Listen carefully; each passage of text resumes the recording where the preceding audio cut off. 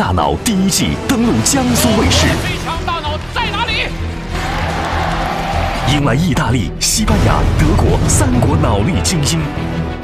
面对强敌，中国战队无所畏惧，所向披靡。中国战队胜出。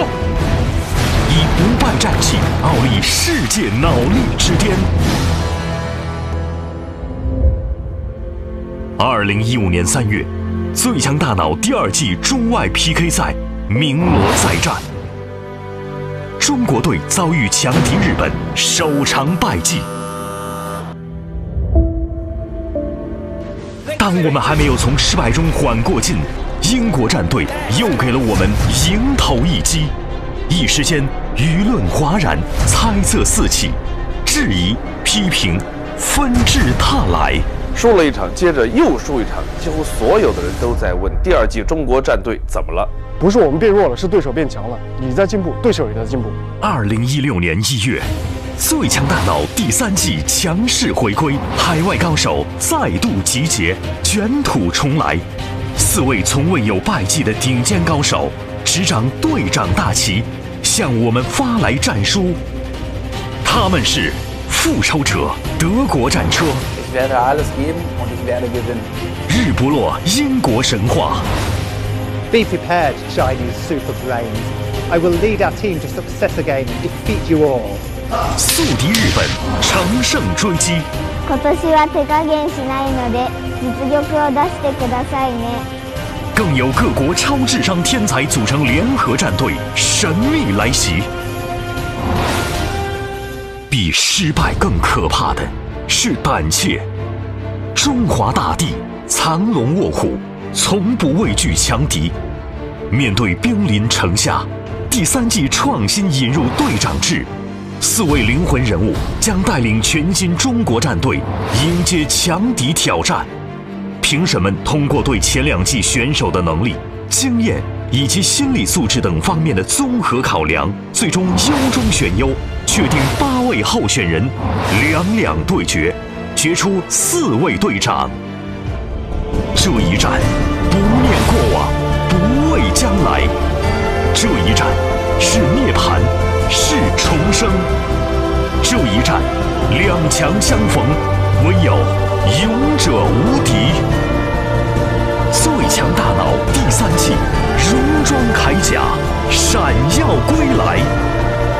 今晚，让我们共同见证中国战队队长的诞生。欢迎进入六个核桃最强大脑。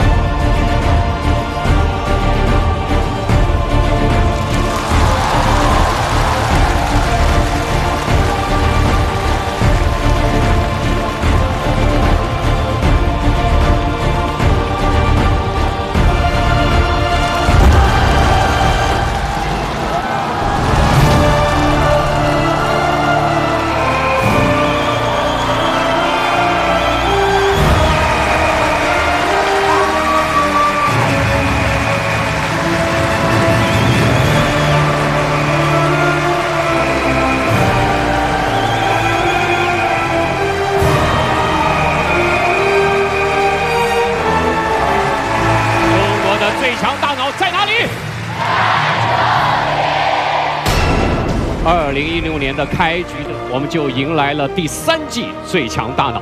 那么在这一季的最强大脑当中，将决出二零一六全球脑王，他才能捧起这象征着脑力界最高荣誉的脑王奖杯。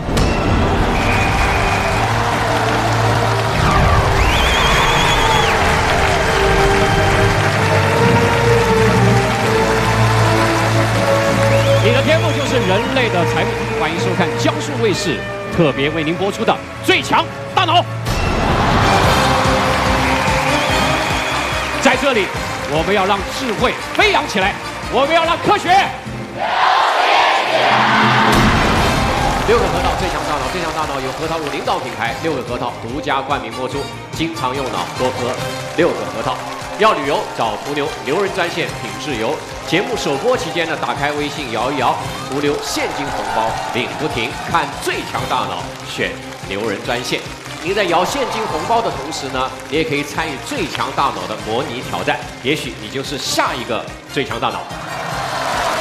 好，这一季的最强大脑，我们邀请了第一季、第二季的八位最强的选手，在这个舞台上，他们要争夺四位队长的位置。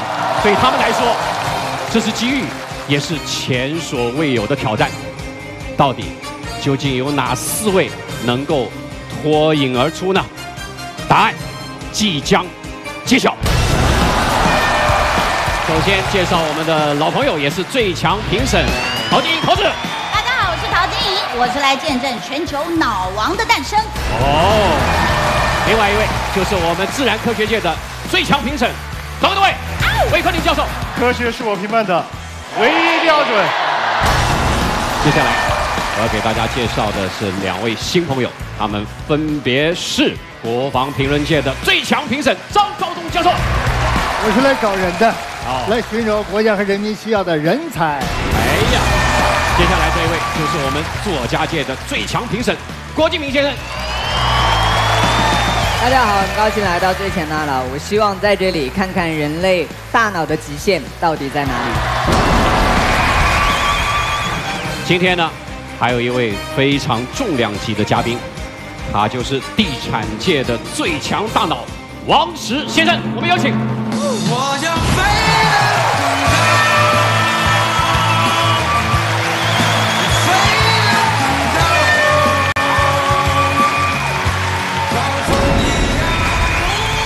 咱们王先生的时间呢，可以讲说一刻值千金。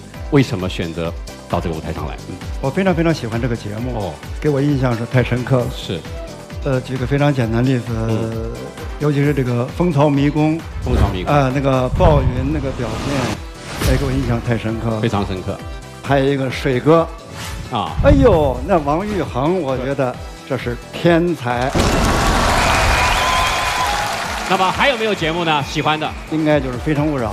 非诚勿扰》，等会儿，您现在不大需要看《非诚勿扰》了我怎么不需要呢？啊？你还需要啊？它很好看。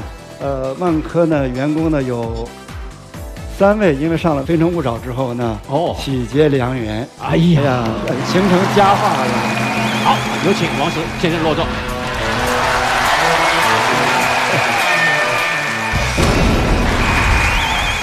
那么，全新的第三季《最强大脑》将会展现怎样的一幅画面呢？我们来看看整季的规则。最强大脑整季节目共分为队长争夺赛、战队抢位赛、国际 PK 赛、脑王争霸赛四个阶段。队长争夺赛中，八名前两季实力选手一一对决，争夺四名队长席位。剩余十二个席位将由挑战者在战队抢位赛中进行角逐。十二名最终占据席位的选手，在四名队长的带领下，分别迎战德国、英国、日本和神秘战队的脑力精英。那么，首先最重要的是在八位顶级选手当中，要挑出四位队长来。好，谁是第一组选手呢？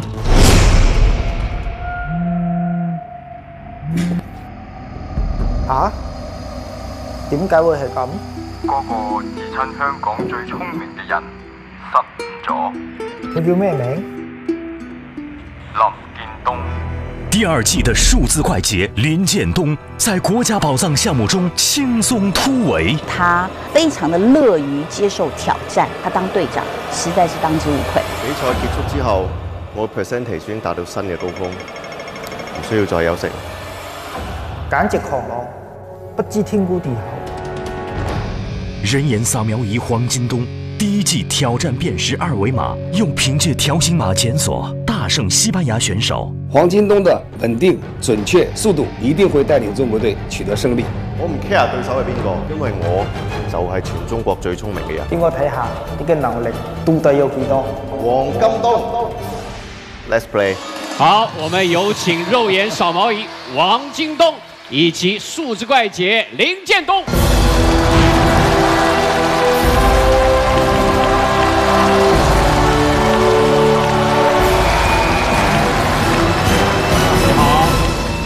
你好，你好，两位。哎呀，两位都是我们很多观众朋友们非常熟悉的选手了啊。先问一下黄金东先生，为什么还会再来？每个人都希望有尊严的活着。那麼今天站在这个舞台上的人，都是真正靠脑力获得尊严的一群人。我希望我可以一直战斗下去，一直赢下去，不管有多么困难。好，谢谢。哎呀，他在讲的时候，你根本不看他啊，你讲吧。所以，为什么再选择到这个舞台上来？嗯，去年我觉得还没够，还没够，没够，而且我还非常想念你。哦，想念我？对。哎呀，来来来来来。但是我我我很好奇的是，因为建东，其实之前你来的时候，你说是全香港最聪明的人，但刚刚一看，你说你变全中国最聪明的人，这这这个是怎么升级？我的意思是我希望自己会不停进步，然后有一天我能证明我是全中国最聪明的。哦，是你的目标。对，刚才讲到聪明啊，京东啊，經過的这两年有什么新的体会？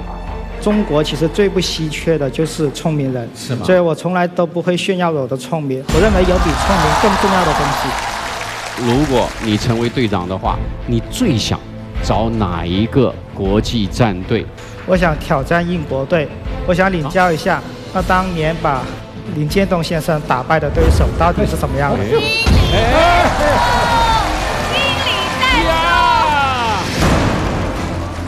建东，到你了。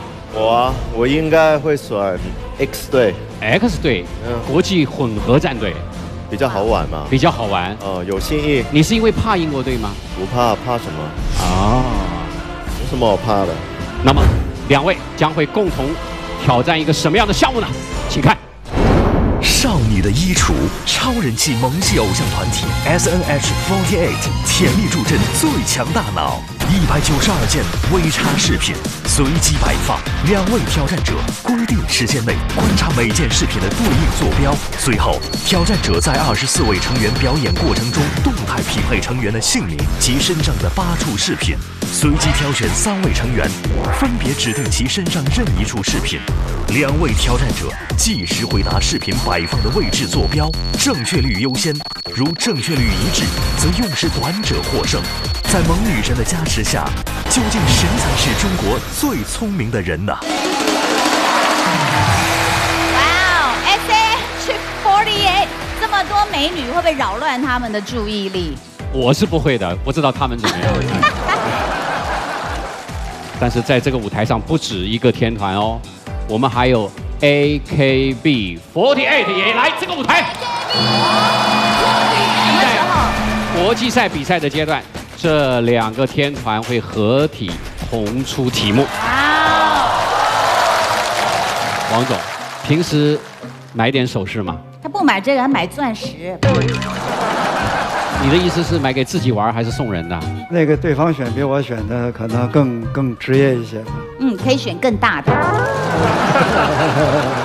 您最近有选钻石吗？哎，啊？真的假的？这个有的時候啊，啊，你这个开会的时候啊，啊，人家说大家反对的举手，啊，他，只是撓撓頭，啊，實際上和举手没关系的。小四，这个项目其实蛮难的，因为人类进化了很多年之后，他的本能其实是会优先锁定面部，对他们两个男生而言又是漂亮女生的脸，然后饰品又分散在全身，其实这个干扰力还蛮强的。哎，我觉得小四说的挺挺科学的，是，就我们的确是优先处理面部信息，特别是眼睛的信息，包括他们跳舞，包括呃音乐，包括节奏，对他们来讲是一个非常嘈杂的干扰。对这两个年轻人啊。他首先要排斥掉的就是这些个干扰因素。好，那么首先呢，我要给大家介绍一下，大家看到，在我的左右手边呢有两个陈列台。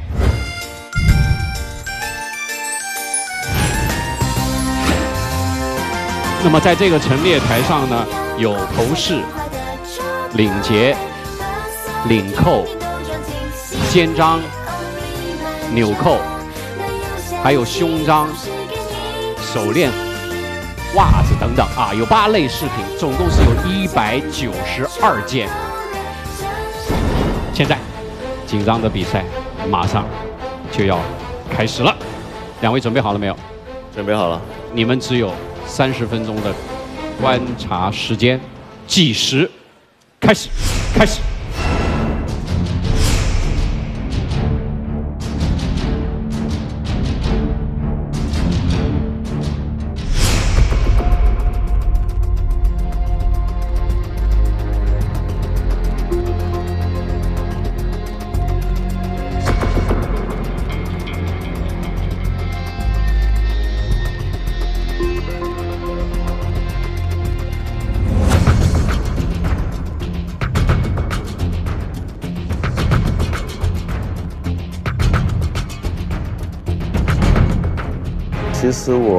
强紧张，记忆对我来说是其实是第二能力，并不是我最好的能力。观察扣子的时候，有很多地方是很相像的，灯光强一点、暗一点都会影响那个颜色的变化，所以有很多地方我不太确定。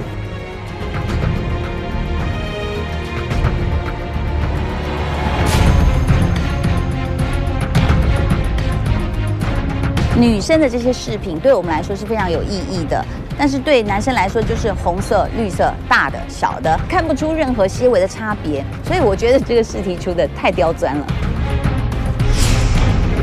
两位选手需在三十分钟内记忆一百九十二件只有细微差别的饰品及其对应的坐标，并在五分钟内进行整理。他们能否在规定时间内完成记忆？并顺利找到视频所对应的主人呢？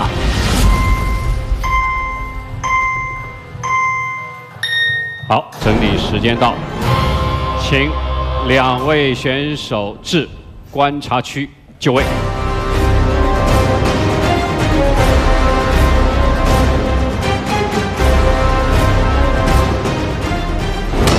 接下来，我们就有请视频的主人，最强出题人 S。NH48 出场。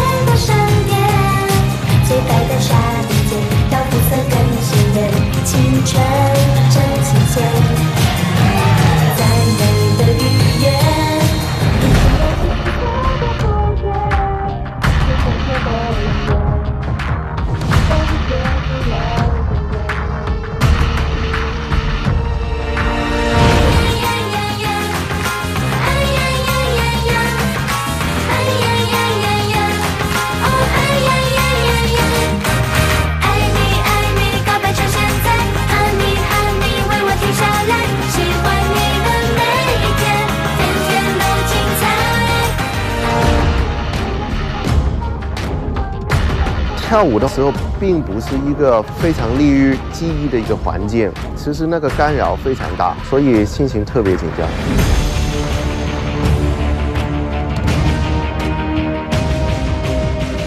因为有些视频可能就这么小，所以这是一个非常大的一个挑战。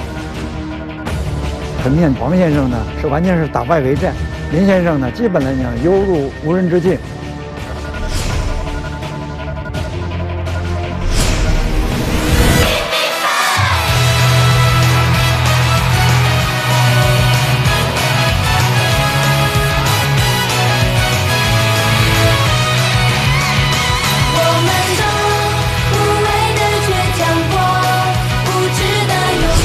十四位少女成员，每位成员分别佩戴八件饰品。两位选手不仅要在三首歌的时间内记住每位成员的名字，还需将每位成员身上的饰品和先前记忆的饰品坐标一一匹配。此外，二十四位成员的舞蹈动作队形变换，也大大增加了两位选手观察和记忆的难度。他们能否排除干扰，完成挑战呢？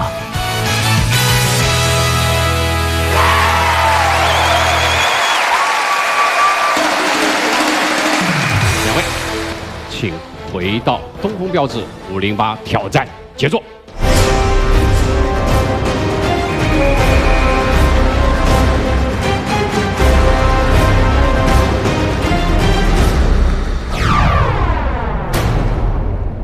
我现在要不要打个招呼？大家好，我们是 S N H 48。哎，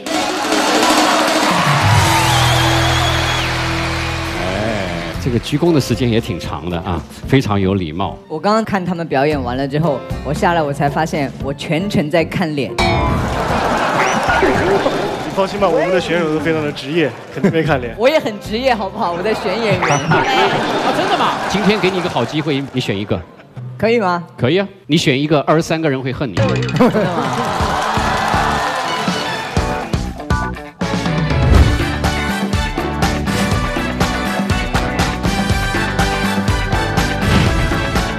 想拍电影吗？哎呦，想不想拍小四的电影？哎呦，好，谢谢。我要选的话，我会选他。选他。谢谢，谢谢。哎，小四，我觉得你的眼力还真不错哎。他，我要稍微重点介绍一下啊，他是舆论界认为四千年才出现的一个美女。哦，真的吗？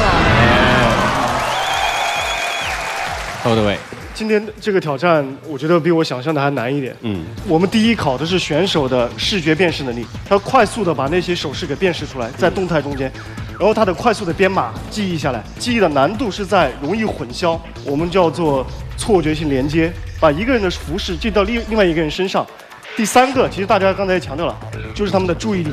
所以我觉得今天的挑战对他们俩其实挺大的。我们看的特别热闹，但是在他们的脑袋里就是一场风暴。好，现在请成员们到等待区，有请。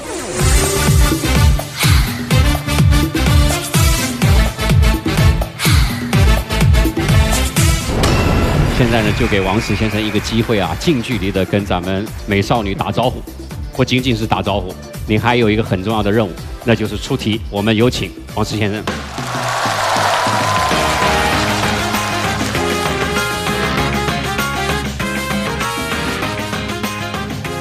拍个照吗？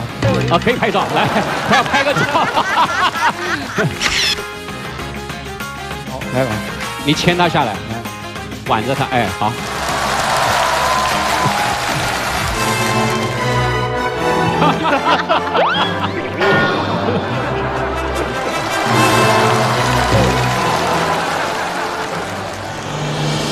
那么您要在他身上指一下一个具体的事物。谢谢王先生，谢谢张教授。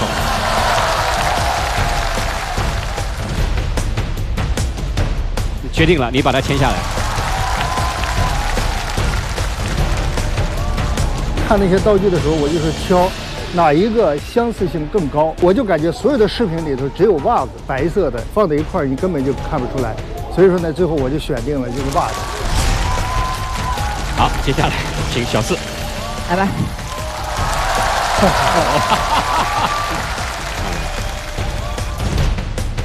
然 后因为那个饰品非常的小，所以我觉得不太容易记得住，很容易忽略，而且希望可以再增加一点他们的难度吧。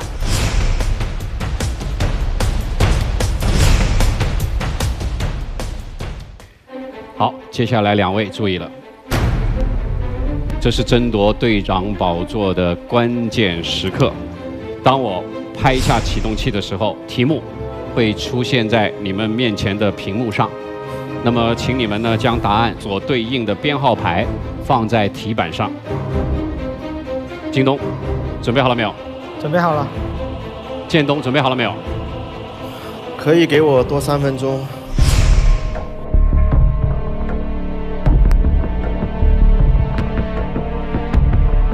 冷静一下情绪嘛。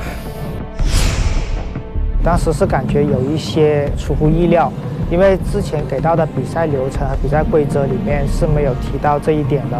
我们比赛的规则是，可以吗？Dog 位。我觉得不太合理耶，提出这个要求，因为他们已经整理挺久了。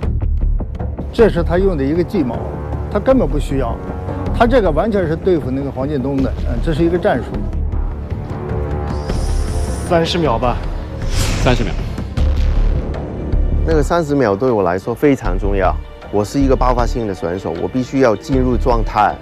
进入状态不是说一秒两秒的事，是有一个过程的。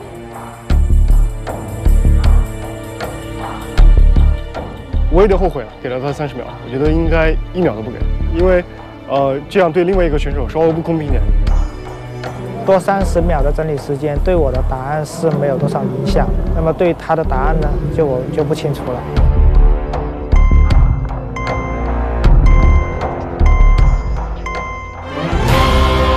好，建东，给你准备的时间到了，请告诉我，准备好了吗？好，好，两位，听我口令，用脑时刻，多喝六个核桃。三。二一，挑战开始！挑战开始！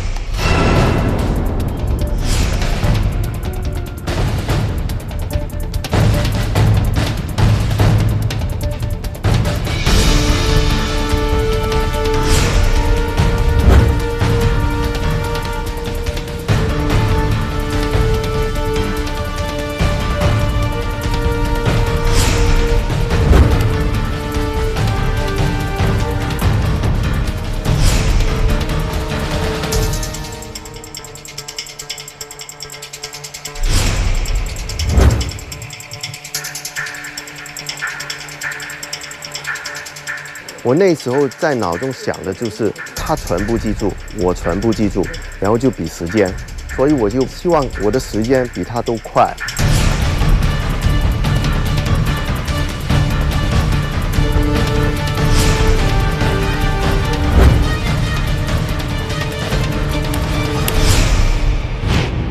按了，行吗？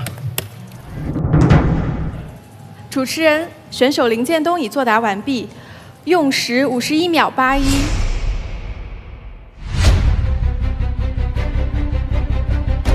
当时林建东答题比我快，给我是有一定的压力的。那么我必须保证我的正确率比他要高，那么我才能够赢下来。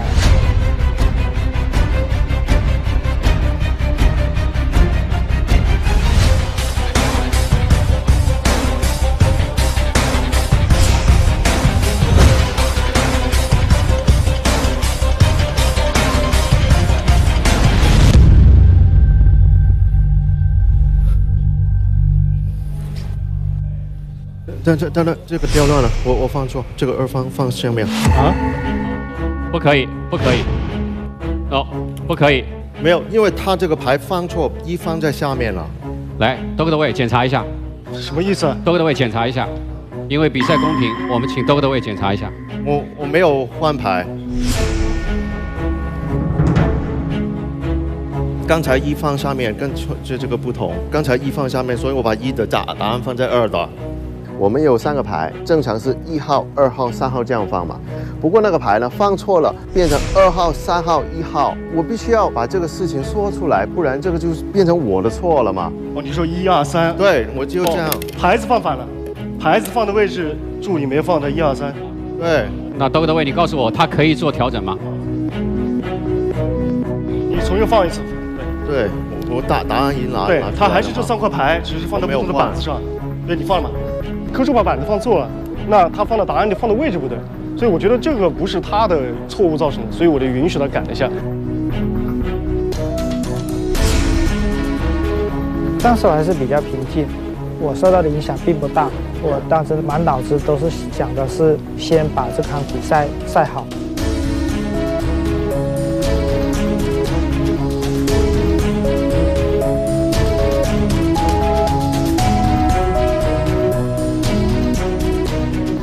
一二三，按顺序。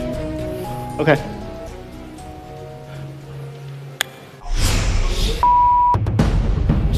先我我可以改吗？因为那个时候很紧张，就犯了一点错误，然后拿错牌了。我可以加时间改吗？不可以。算我我没办法回答你问题，对不对？他如果改的话，加时间可以。我现在不没按过。王金栋还没按，我可以改吗？然后我现在再改。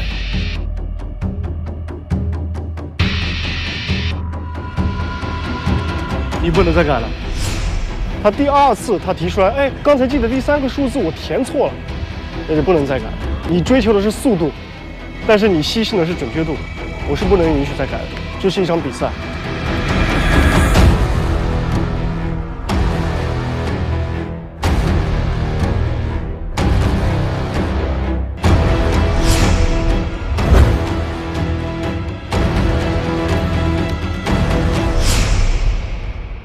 选手黄金东已完成作答，用时三分零二秒七九。好。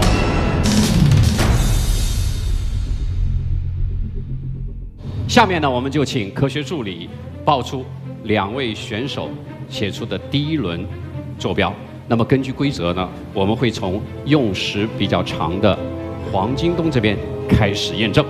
选手黄金东第一题的坐标答案为零八三。零八三，建东这边。选手林建东的第一题答案是零八三。啊！现在，请科学助理验证。那么所报出的零八三号是否跟这个手链一样呢？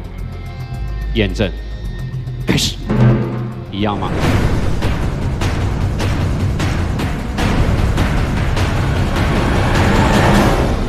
啊，完全一样。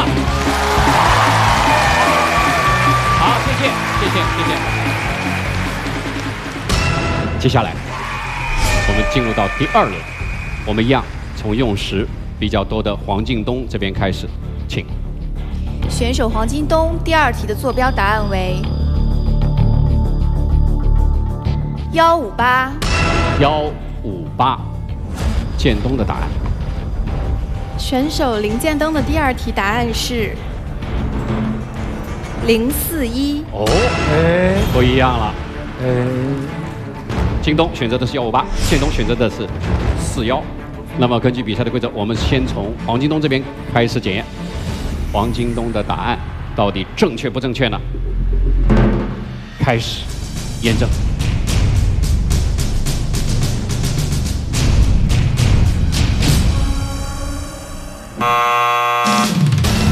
回答错误，我们就来看看建东。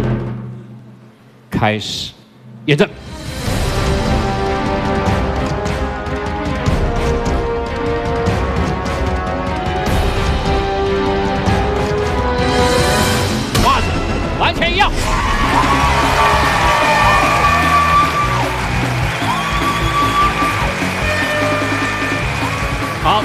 比赛的规则，我们现在可以非常肯定的说，林建东已经获得了这一次挑战的胜利。好，有请黄金东、林建东到舞台中央来。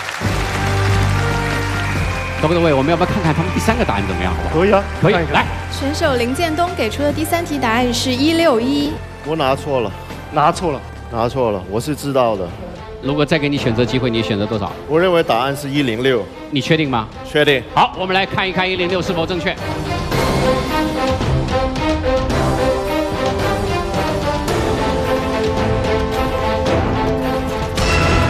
建东很有自信的说，他改一个答案是一零六，到底正确不正确呢？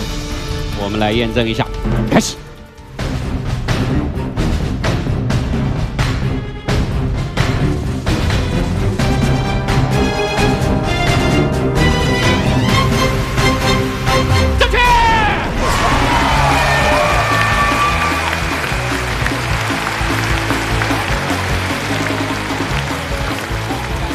这一场挑战赛的最后的胜者是林建东。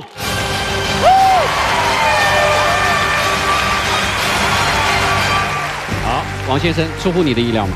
对我来讲，应该应该是不出乎的，但是我觉得有一点点小瑕疵。哦，因为说开始的时候，他说我要求延长三分钟，嗯，我没准备好，这是对对方的一种干扰。我个人觉得，国际如果这样裁判来讲，嗯，多给一秒都不合适。哦，有道理。好，好的。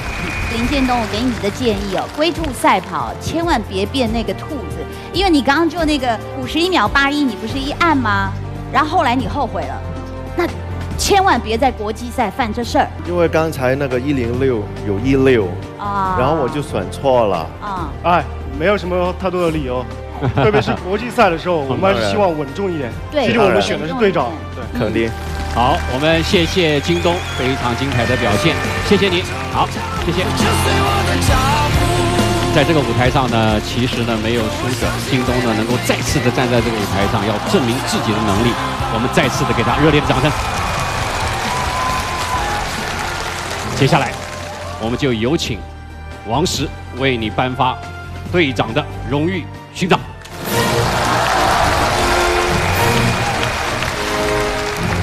祝贺你，祝贺你。谢谢。好，谢谢王石先生，请入席就坐，谢谢。那么接下来我们就请林建东走进中国战队的荣誉殿堂。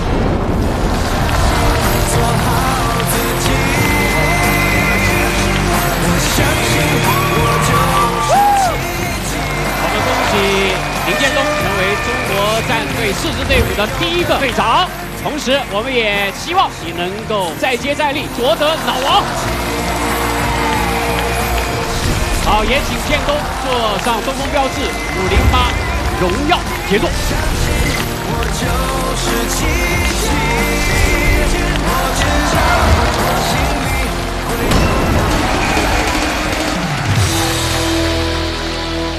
我们有请下一组挑战者。看清、寻找、甄别，这似乎是我在最强大脑上必须面对的挑战。其实只是这些记忆碎片在我脑中挥散不去。第二季的超级变脸王李威，在川剧变脸项目中展现出惊人的实力。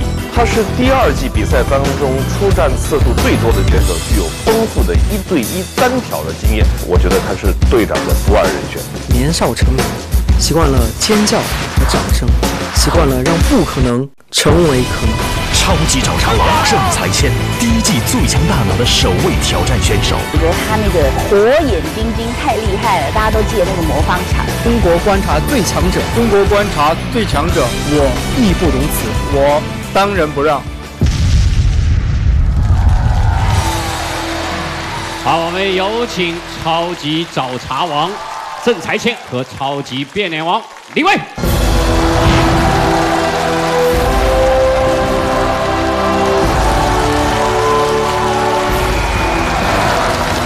先欢迎您，当然了来李威，欢迎您。刚才看了这个 VCR，就感觉你们两个互不服气啊，哎相互挑战，相互叫板。是我就想呢，了解一下你们两个各自都有哪些优势。因为这个郑才千是老选手，我让他先说吧。哟，这种语气啊，让你先说。呃，我觉得李威哥年龄比我大，还是您先说。哎呦，啊，算了，受不了你们俩了，快说吧。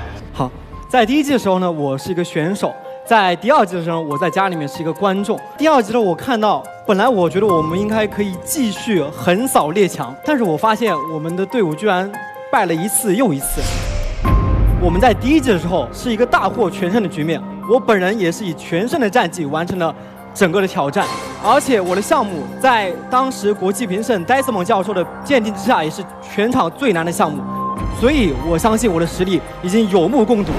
哎呀，第二季我们有一些失误，没有全胜，那是因为他们第一季的时候刚开始出来这么一个节目，国外的过来 PK 的选手都比较弱。还有一个郑台谦刚才说到，他的一个项目被鉴定为全场最难，但是他仅仅完成了一个项目。而我是完成了四个项目，在这个经验上我比他丰富，在能力上我比他全面，所以在这一点上，我觉得我觉得是可以战胜他的。但是其实郑彩倩就是我我看到的，大家对他记忆非常深刻，所以我比较好奇的是，在这种电影或者武侠小说里，这种功成名就的，一般都是收山归隐山林，不再复出了嘛。第三次又再次出来，其实这是一个还蛮冒风险的。呃，他不是，因为这水平完全不一样的。他只要不出来，你就算说水平不一样，但是你也没有证据说我一定能够打赢你。照这个逻辑，你就不应该拍电影了。针对郭敬明先生，我想说，侠之大者，为国为民。所谓真正的英雄，一方面他不可能畏惧任何一次失败，另外一方面，真正的英雄一定是要救国家于危难之间。虽然这里并不是战场，但是战场其实在我们每一个人心中。我来到这里就是要向全世界再次证明，中国才是真正的世界第一脑力强国。如果蔡天，你赢得了这一次的比赛，成为了队长，你想挑战的那个国际队伍是？我不 care 任何一个国家。我的天哪！李卫，听说英国队今天还要来，我只挑最强者，所以我希望带领中国队去完胜英国战队。哎呀，好！硝烟弥漫啊，我已经看不清整个舞台的局面了。你们两个到底谁是中国观察的第一人？马上就要见分晓，所以你们两位共同的挑战项目是什么呢？请看。雪花之谜，五十台电视机中呈现细微差别的黑白雪花点，两位挑战者观察所有雪花点及对应的电视机位置，每台电视雪花限时观察十秒，每位挑战者将有三次复看的机会。嘉宾任意选出一台电视雪花，将其雪花呈现在挑战者面前，两位挑战者通过观察找出相对应的电视机位置。三轮挑战，正确率优先。若正确率一致，则用时短者胜。谁才是中国观察界第一人？担当队长重任。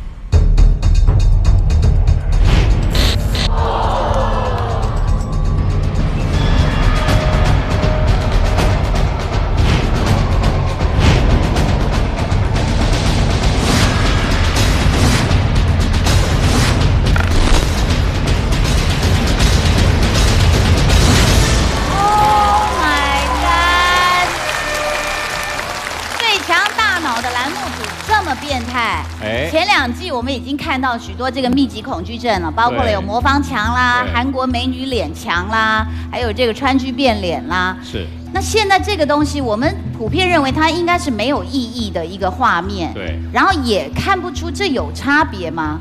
这个项目非常的难，不简单。我们可以过去看一眼？你们可以看看有没有差别。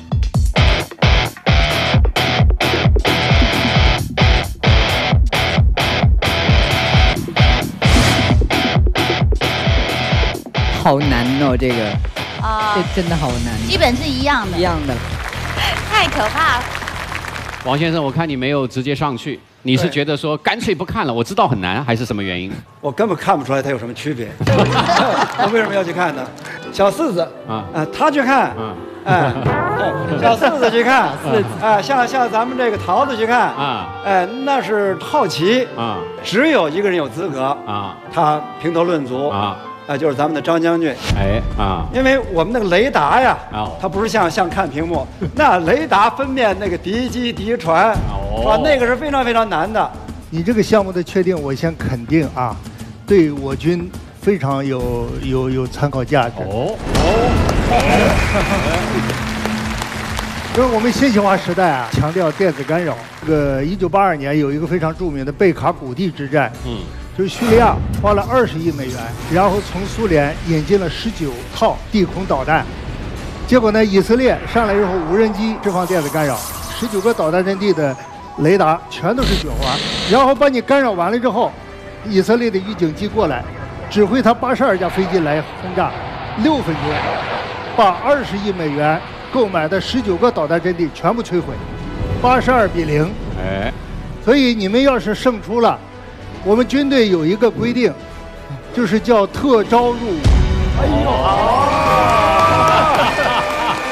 呦！比方说，您能从雪花里头看到将来一个雷达被干扰状态下来袭导弹、来袭飞机的一个图像。这个不管你年龄多少，比方说三十岁、四十岁、五十岁，都可以特招入伍。特招啊！我建议有关部门掌声鼓励一下啊。接下来，我们马上就进入严酷的挑战。两位选手，我要提醒你们，我们后面的电视雪花的播放是在按照顺序来的。每播一个电视雪花的画面，你们只有十秒钟的观察时间。明白了吗？明白，明白，明白。好，请上观察题。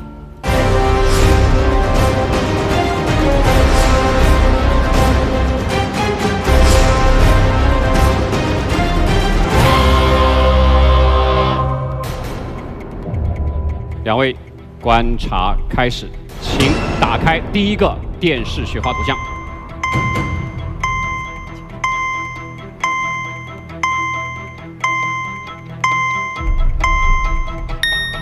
第二个电视雪花图像。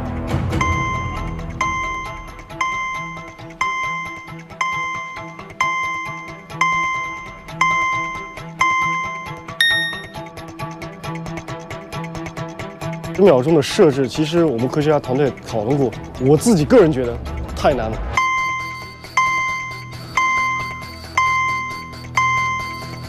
真的，你要把所有每一台都记下来，而且每一台的时间只有十秒钟，在我看来是一个不可能完成的任务了。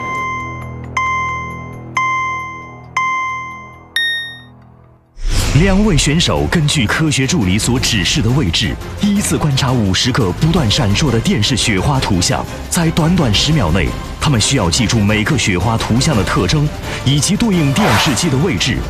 面对这项在常人眼中几乎无法完成的任务，两位选手又是否能在规定时间内完成观察，解开这雪花之谜呢？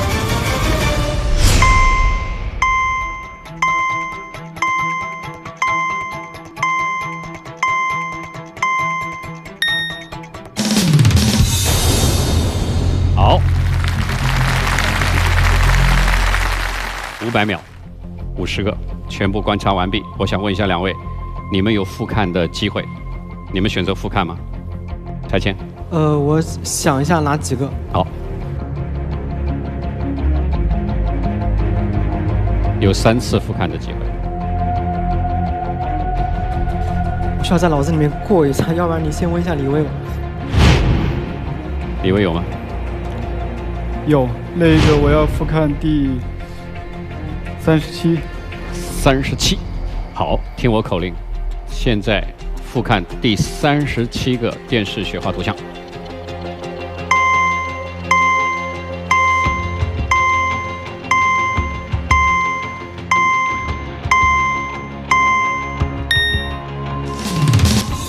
你还有两次机会要吗？不需要了，我就需要看一个。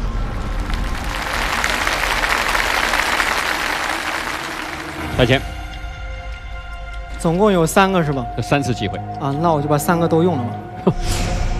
嗯，三十四，好，还有嗯，还有还有十六，还有三十一。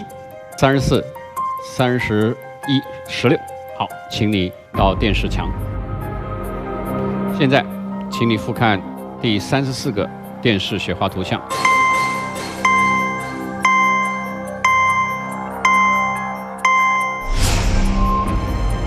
其实我觉得好像没什么复看的，但是我绝对不会浪费这三次机会，所以我就在想这三次机会到底怎么样用，能够让它发挥出一定的用处。当时看电视机的时候，它是有一个顺序的，我可以在脑子里面排出一个格子，那我可能我就要剔除掉一些我不太喜欢的格子，那么我就要去揣测出题评审的心理。如果说我提出复看了，那么评审出于公平起见，他应该不会再去出，因为我已经复看了，再出的话可能就会对我有利。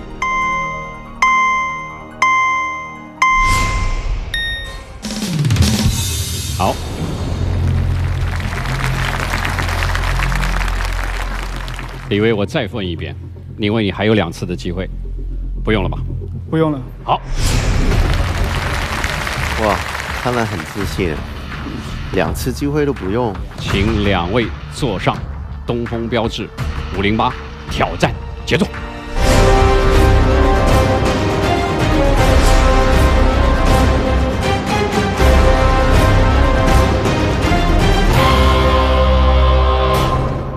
接下来，我们请王石先生随意地挑选三台电视机，写在题板上。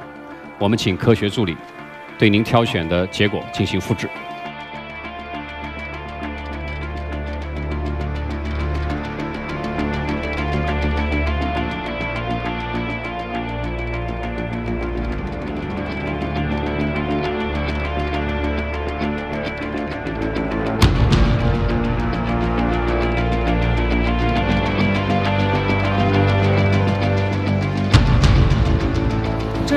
持人王石老师出题完毕。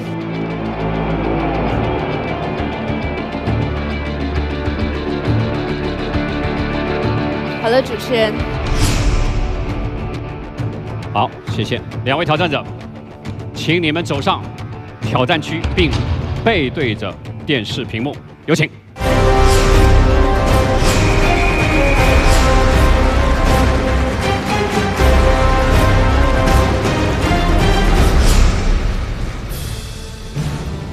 们俩可以调节一下自己和电视机间的相对位置。我们用题板把电视先遮住。遮盖完毕。好，现在已经遮好了。好，你们可以转身了。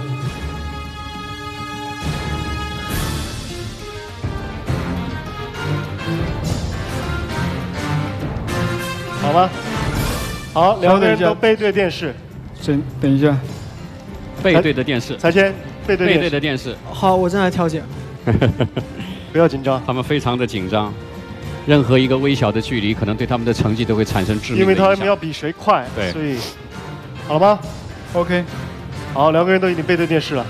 好，请科学助理将第一题对应的电视雪花图像调出。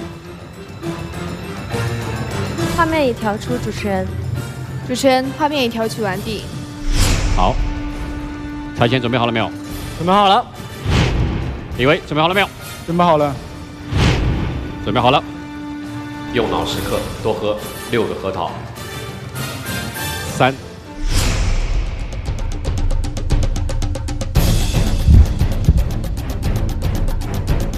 二、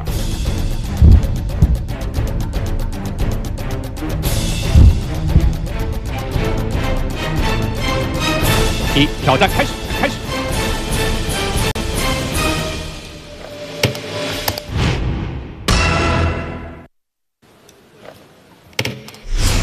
主持人由李薇郑台答题完谦答题完毕。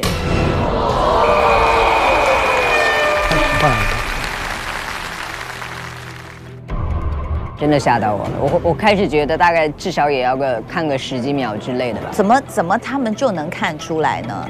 哎，不都一样吗？所以那个个中奥秘真的，我下辈子吧。哇塞，我的天哪！太厉害！两秒五十五跟三秒二十，我的天哪！好，现在我们请科学助理将两位的答题板拿到舞台中央。现在，请只保留王石先生出的第一套题的电视雪花，其余全部熄灭。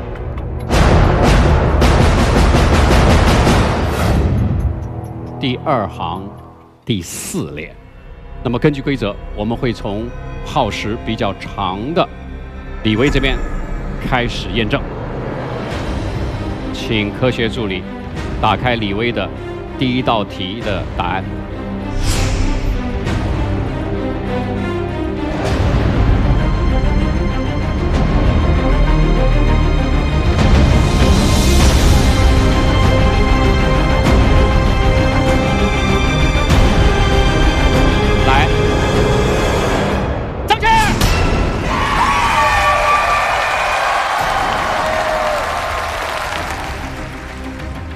那么李威尽管用时长一点，但是他的答案是非常正确的。那么郑才千尽管用时短，答案是不是一样正确呢？开始验证。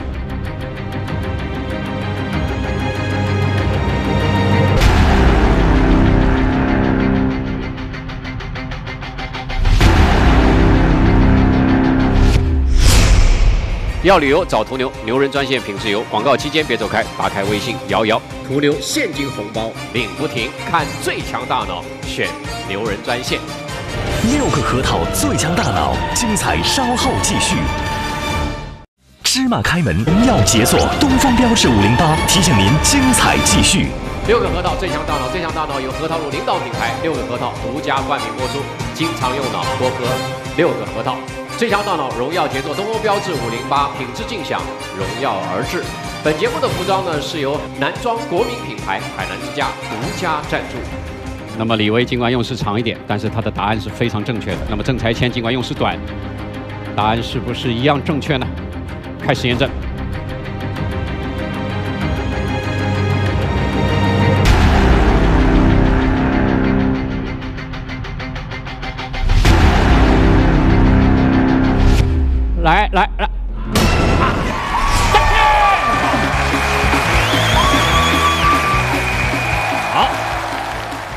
两人在这一轮当中打成平手，一比一平。两位选手请转身，请转身。没转够，嗯，转了。郑才坚是狡猾，他身体没有完完全全背对着电视机，他是稍微有一点斜度，这样他转身可以更快一点。他显得多少有点呃擦边球，因为他是个侧身，转不够，他转不够，才谦的关才谦他要你完全的背对电视，要完全背对才谦，对才谦，完全背身。才谦要很着急的按，所以啊。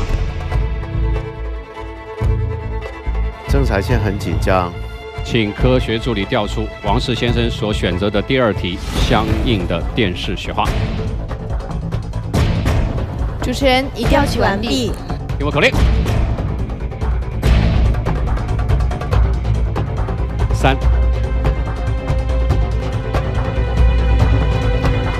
二、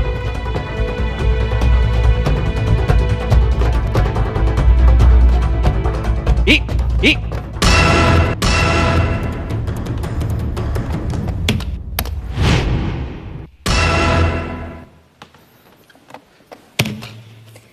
郑才谦已答题完毕，李威已答题完毕。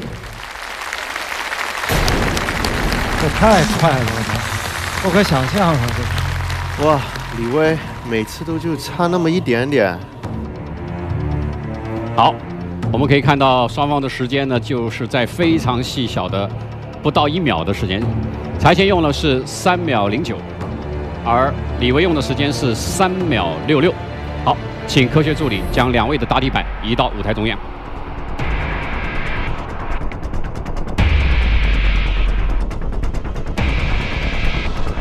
我们在电视屏幕上只保留王石先生所出的第二题相应的电视雪花，其他完全熄灭。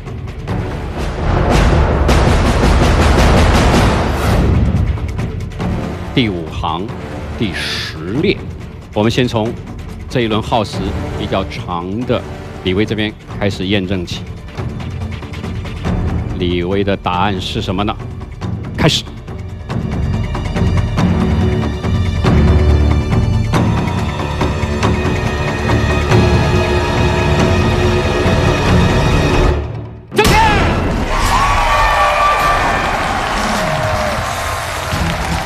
太不可思议了！才谦尽管用时比较短，但这一轮当中，才谦是不是一样正确呢？开始。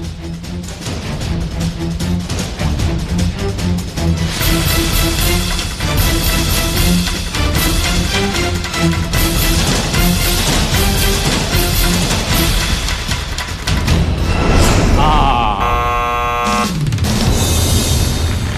很可惜，才谦在第二轮。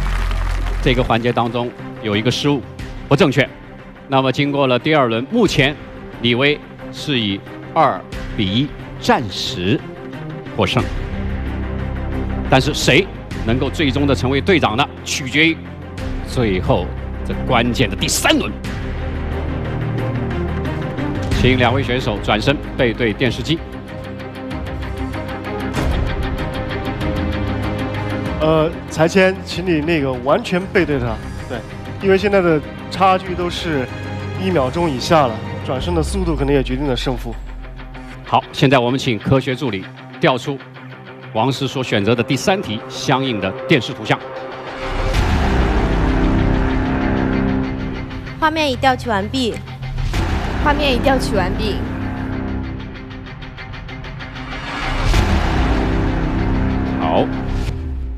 听我口令，三、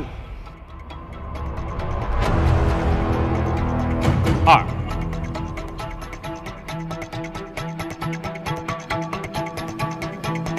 一。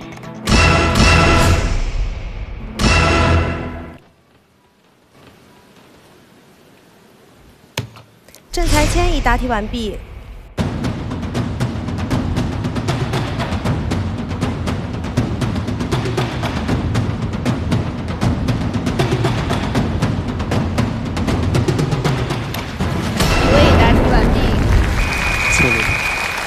大家正确就行了。好，请把两位的答案送到舞台中央。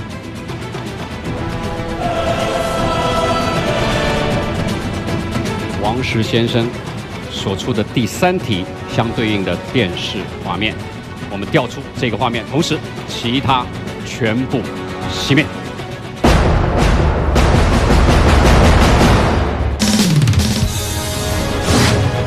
王先生出的第三题是第六行第八列，那么他们的答案会是怎样的？我们就从暂时失利的拆迁这边开始验证。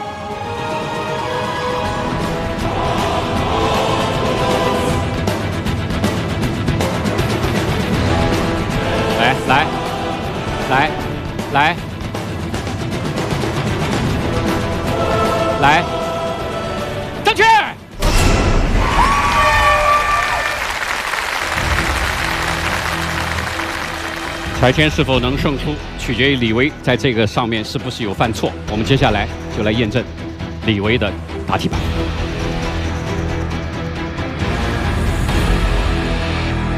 开始验证。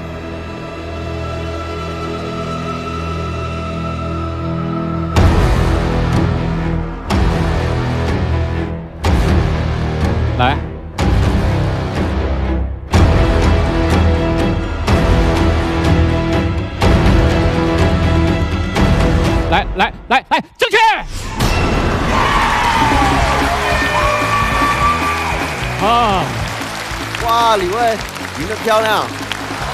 太不可思议了，太不可思议了！我真忍不住想问一下柴谦，第二轮到底发生了什么？嗯，我一直自信我是个反应速度比较快的人，我没有想到第一轮李威跟我的差距那么小，所以我在第二轮的时候，就是只捕捉到了一个特征，我就直接写了。当然写完之后，我扫了一下，我就知道我错了。然后当然我也知道了今天的结果一定是李威赢，不需要宣布。为什么因为我是李威的话，如果我这个对了，我第三个我哪怕耗一个小时，只要我第三个是对的，我也是会是赢家。所以李威不会想到想不到这一点。今天这个项目有一个地方让我惊讶的是，你们记忆提取的速度太快了。那个答题板和电视机的排布，其实它没有规则。对，就你计算记住那个号码，那号码具体在哪个位置，这还要耗一点时间。但即使是这样，你们的反应速度也是极其快。但是呢，我我我我我发现李飞看一次，但是财前看了三次，这个让我感到很惊讶。其实说实话，我也不需要任何的复看。然后我知道，如果我看了的话，从评委出题的角度，应该就不会再出，因为这样子，因为我已经复看了，再出的话可能就会对我有利。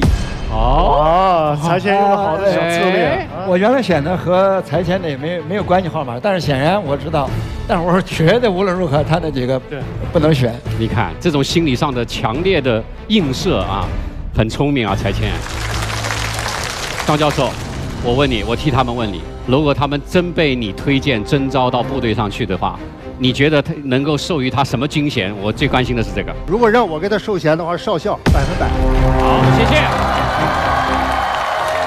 好，谢谢柴谦，谢谢，谢谢。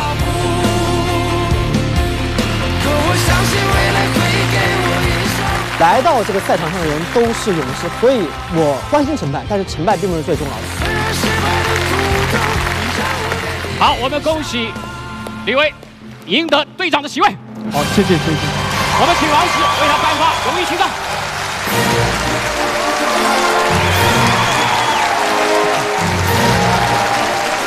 谢谢你。谢谢。好，谢谢谢谢王先生，谢谢。现在我们请李威带着这个勋章登上中国战队荣誉殿堂。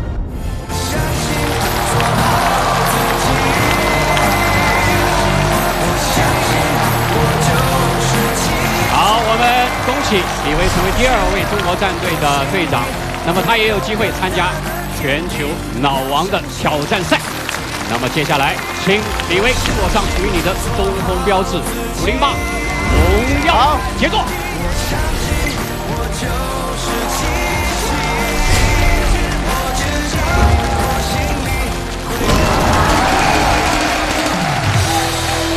我们有请下一组挑战者。一卷风云金陵榜，囊尽天下奇英才。鬼才之眼王玉衡，有诗旷之聪，如离楼之名。初亮相，微观变水，威震八方。你会觉得他怎么可以跟水沟通？一定是如有神助。他当队长，我们就赢定了。战东营，明察折扇，更是兵不血刃。恭喜王玉衡！空间游侠刘健，出战惜败，英雄归来，挑鹰斩美。他出战次数最多，而且保持着不败记录。更重要的是，他曾经两次在关键时候挽救了中国战队。领军之位，谁主沉浮？我们有请空间游侠刘健和鬼才之眼王玉衡。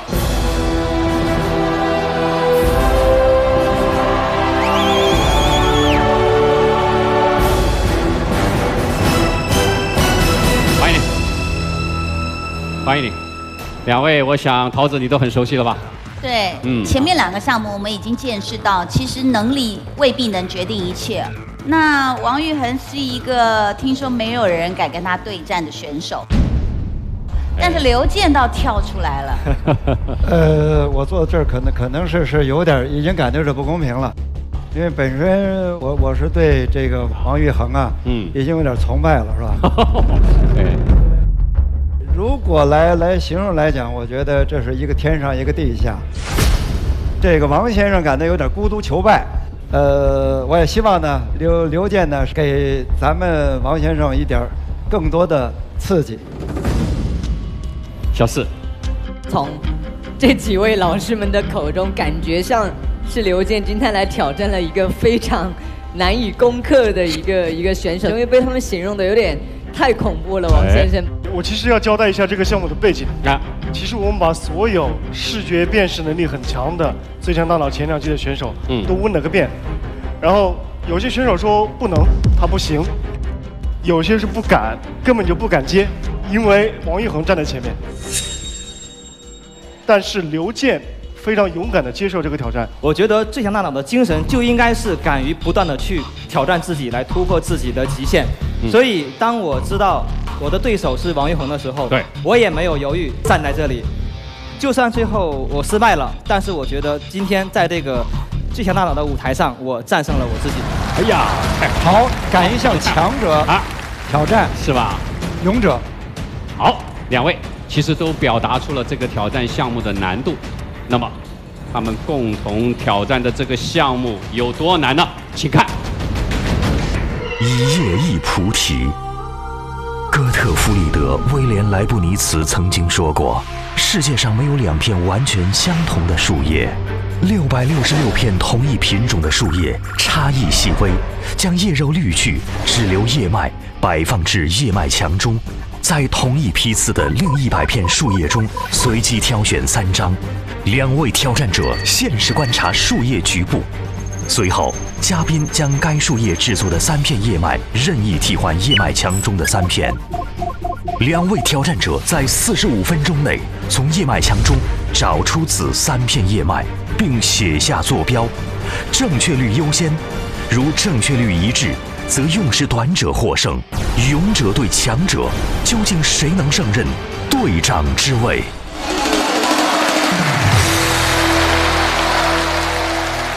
现在在我左手和右手边的就是两片叶脉墙。大家看到这个叶脉墙上面呢，有我们工作人员精心处理的六百六十六片叶脉。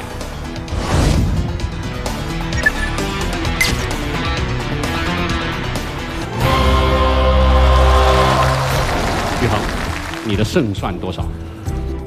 我是奔着日本队来的。哎呦，那么挡在我前面的人，我只能说对不起了。啊！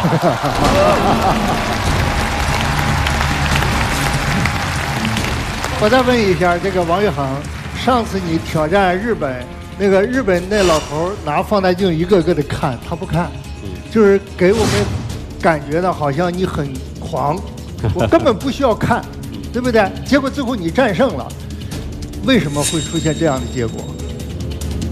习惯就好了。好，刘健，你觉得胜算多少？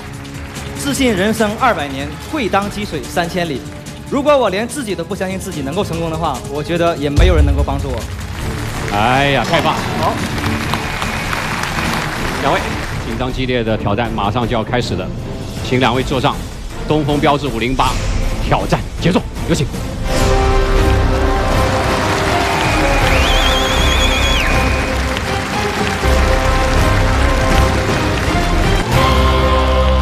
接下来，我们请张教授、请桃子、王石来挑选我们的叶子照片。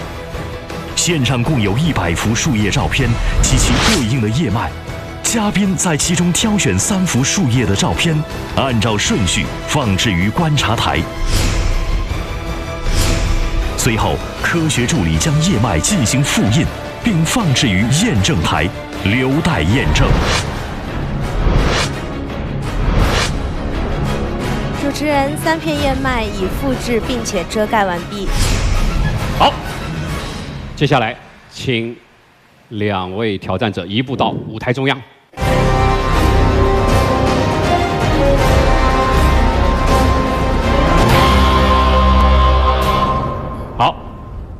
那么我要告诉两位的是，在我的右手边这是一号树叶，那么背对我的是二号树叶，在我的左手边是三号。两位明白了吗？明白。你们有十分钟的观察时间，十分钟观察，倒计时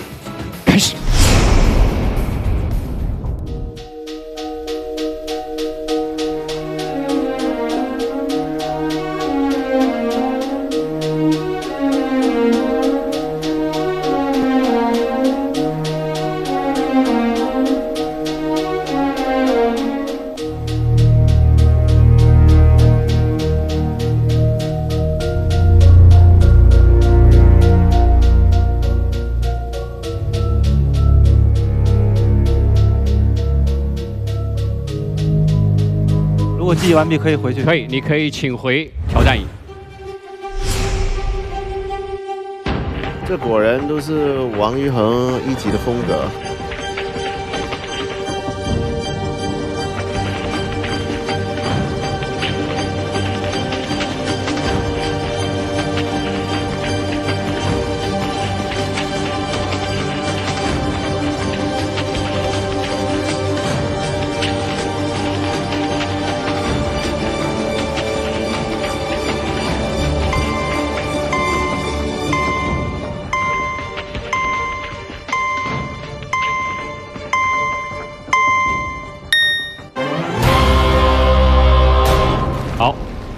刘健已经坐回挑战椅了。接下来，请桃子把我们第一位嘉宾所挑出来的那个叶脉任意的替换叶脉墙的叶脉图片。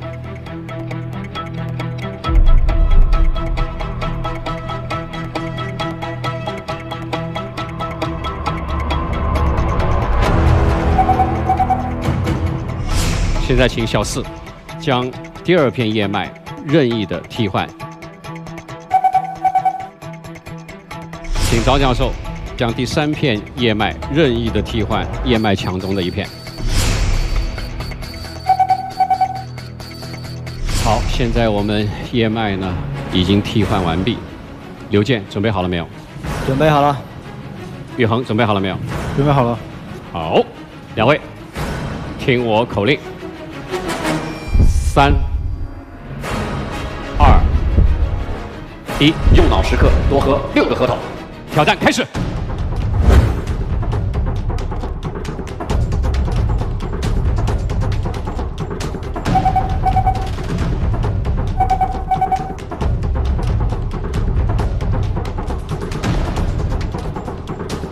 哇，王玉恒现在很像当年他看水的时候那么快的。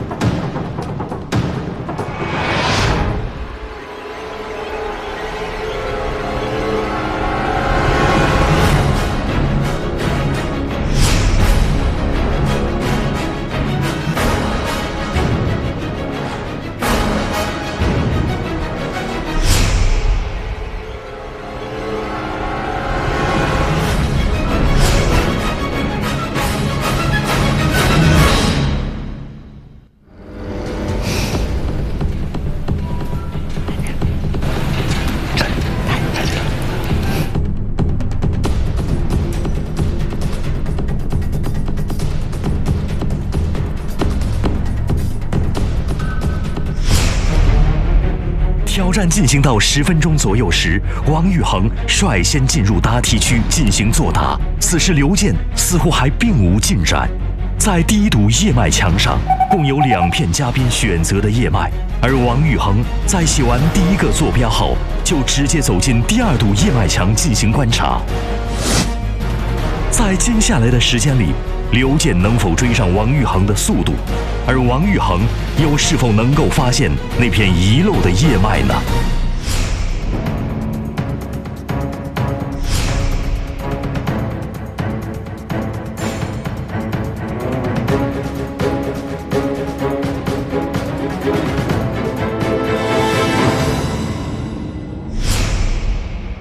刘健已经找完一遍了，还一个答案没写，是不是太犹豫了？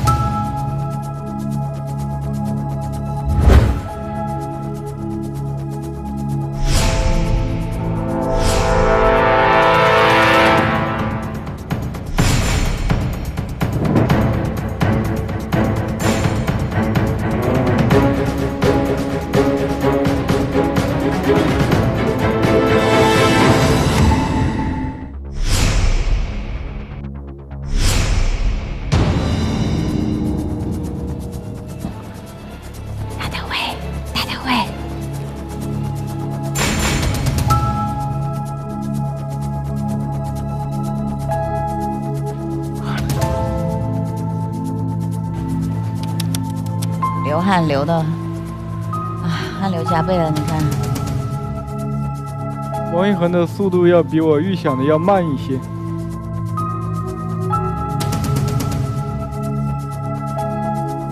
已经过去了四十分钟。时间已过去四十分钟，王玉恒仍然只写下了一片叶脉的坐标，而刘健还根本没有写下任何叶脉的坐标。离规定的时间越来越近，他们能否抓住最后的机会，寻获坐标，完成挑战呢？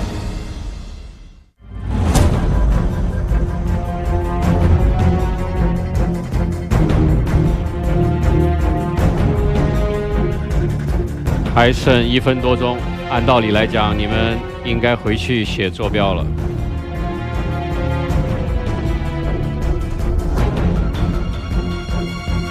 还有一分钟。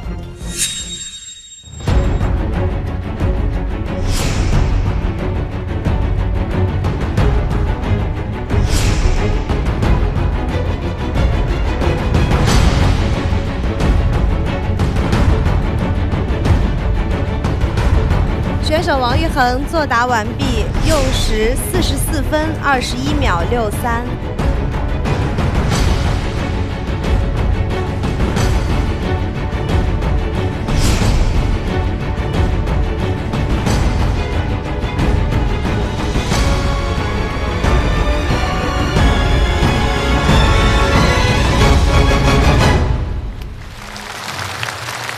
选手刘健已作答完毕，用时四十四分四十二秒三四。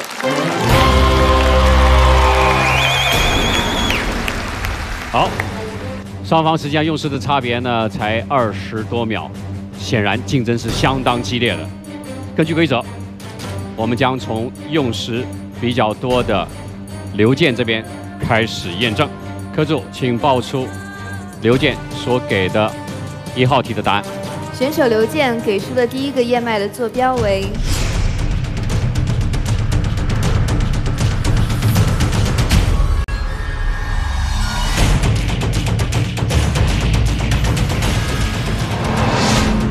并未作答。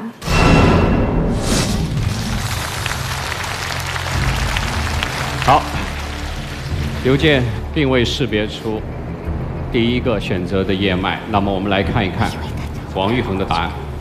选手王玉恒给出的第一个叶脉的坐标为一强、爱行、二十九列。一强爱行二十九列。好，接下来我们把王玉恒的答案跟坐标叶脉进行对比。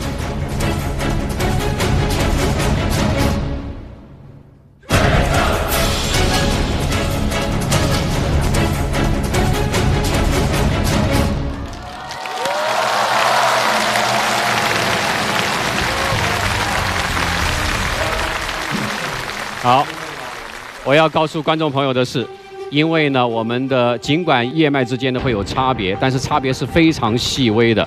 现在看上来呢是基本吻合，但是答案是否正确呢？请打开叶脉右下角的角标，我们看对应的序号是否正确。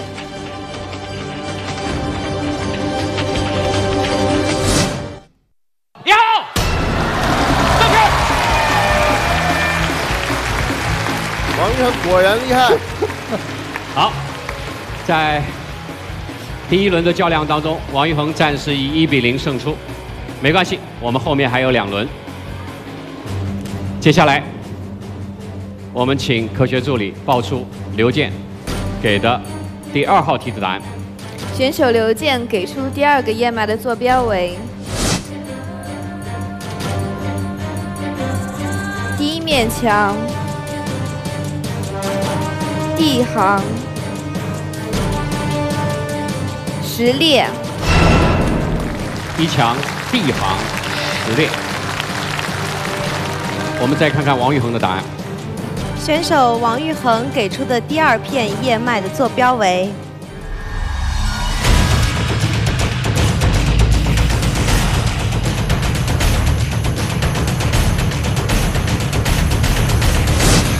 并未作答。哎呦，太难了，太难了，太难了。好，很纠结了。在第二轮当中，王昱珩是放弃了作答，而刘健给出了他答案。但是，刘健是否能够在这一轮跟王昱珩打成平手呢？取决于验证的结果。来，我们开始验证。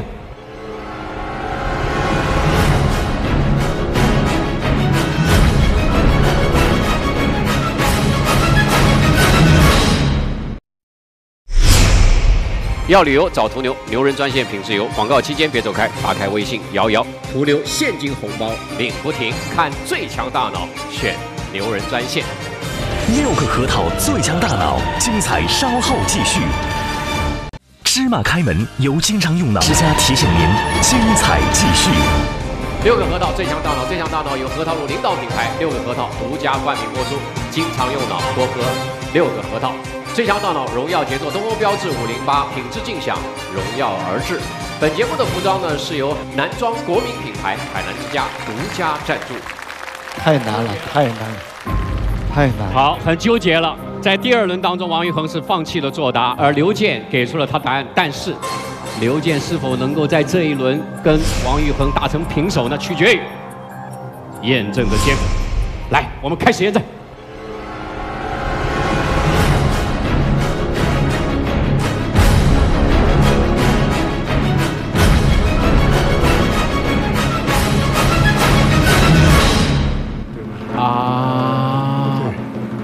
好像图两个叶脉的结构没有办法完全吻合。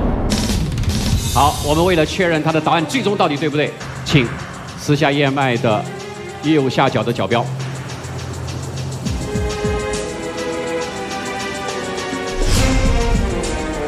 哎呀！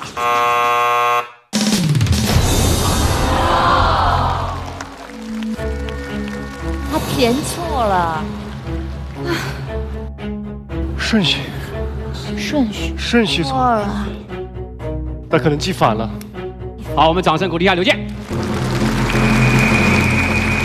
但是我们还会验证第三轮，接下来我们来看一看第三轮刘健给出的答案是第三个叶脉，刘健给出的答案坐标为二强 F 行二十八列。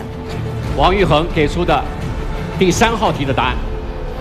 选手王玉恒给出的第三个叶脉的答案是，并未作答。啊！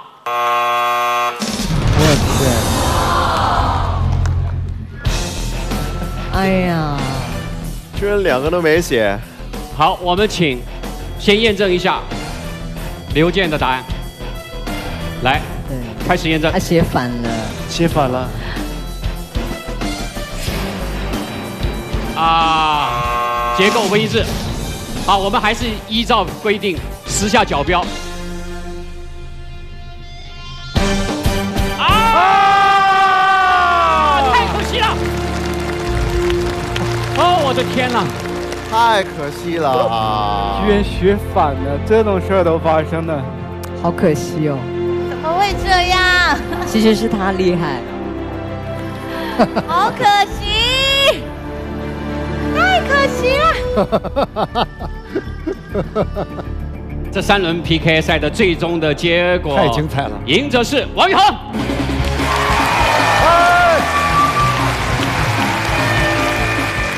但是如果刘健没有把顺序搞错的话，今天晚上真正能够夺取队长宝座的应该是刘健，掌声给他。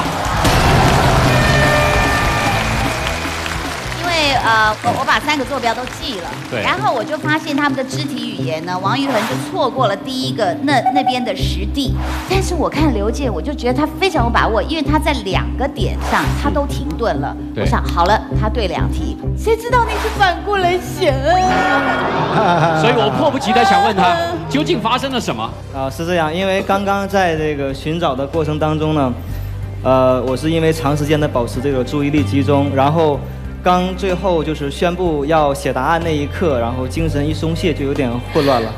啊但是我也想问，王玉恒是遭遇了一些难题吗？你觉得非常困难吗？你为什么没看出来有两个空白？运气。今天其实一直就没有进入我自己的节奏，几天都没有睡了。我到后面我都看不清了。有天赋达不到的高度，所以你被选为队长，但是你肩负重任。好，祝福这两位选手各自一句话。刘健吧，我再对你个剑解读：天行健，君子以自强不息。好。王宇航、毕世坤，君子以厚德载物。哎呀，好。再见，姜老师。再见啊！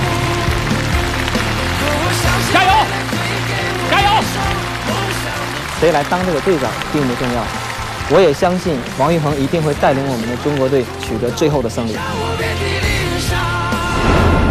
好，接下来我们请王石先生为王昱珩赠送荣誉勋章。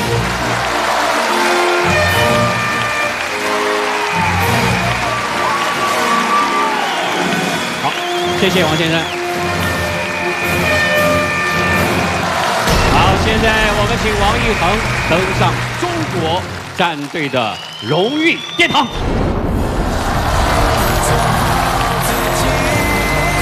我们恭喜王昱珩成为中国战队的第三位队长。另外，王昱珩也有机会参加全球老王的挑战。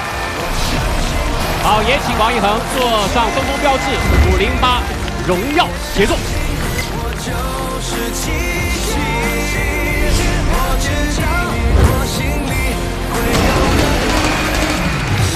谁是最后一个队长名额的获得者呢？我们有请下一组挑战者。来自第二季的魔方机器人孙红叶，他可以说是魔方界快你魔方的一个全面手。虽然他最终在国际大赛上失利，但是失败给了他宝贵的经验。我觉得他有做队长的潜质。从成功到失落，从失意到收获，经得起大起大落的男人，才扛得起队长大旗。第一季的魔方达人贾丽萍，有一种人生叫赢家。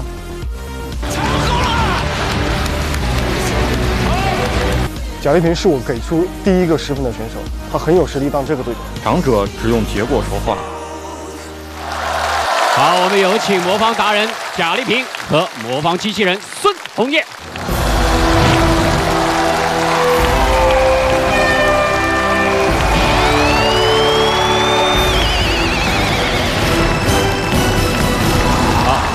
老师你好，欢迎来到这个舞台。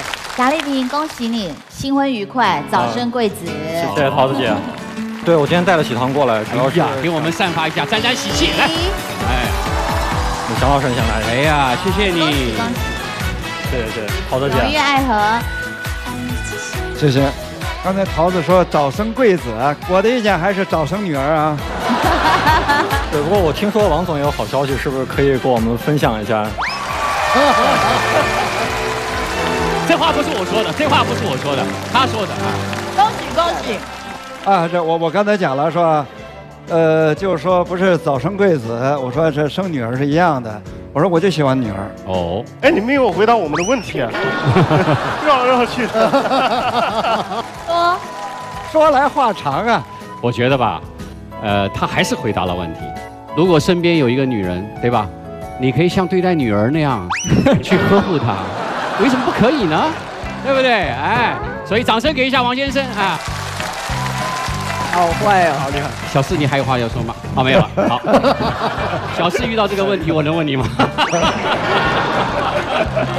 啊，小四脸已经红了，哈，我就不问了。我有一个奇怪的感觉，就是你送给他们这个糖，却没有送给对手糖，是什么意思？哦，他世锦赛比那个成绩，他还好意思吃糖吗？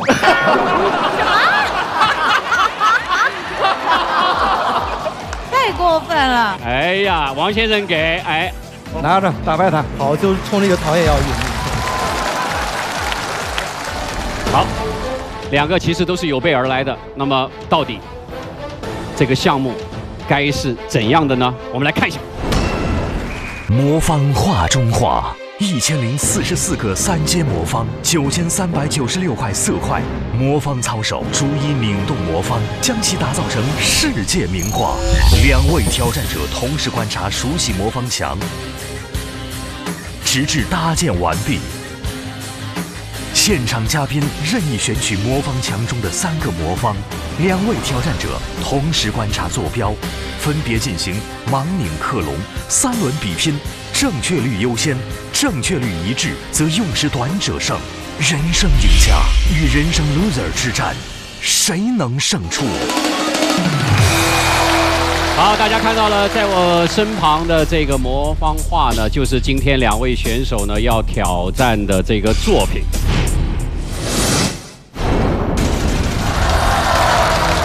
那么大家看到的这幅魔方画呢，它是由一千零四十四个魔方，九千三百九十六个色块形成的这个魔方画，它也是中国电视节目史上色块最多、最复杂的魔方画，也是盲岭魔方史上的极限挑战。那么大家看到的这幅魔方画呢，实际上是根据啊梵高在圣雷米时期的伟大作品之一《鸢尾花》来改造完成的。还有什么疑问？对于这个挑战项目，我看的这个是是挺亲切的。为什么？因为你们一直绕着弯儿，我就回答一下吧。哎，这个两年前呢，我和你们总想要要绕弯儿那个人呢，我们一块儿去过普罗旺斯，是看过这幅画的。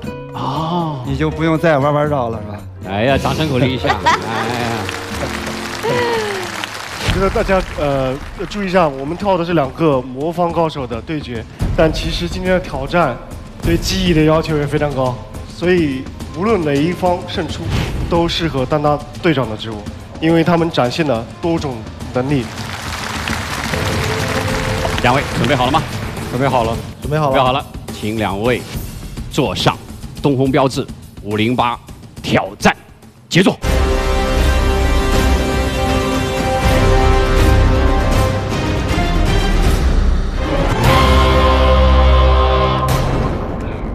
有请王石先生首先为挑战者出题。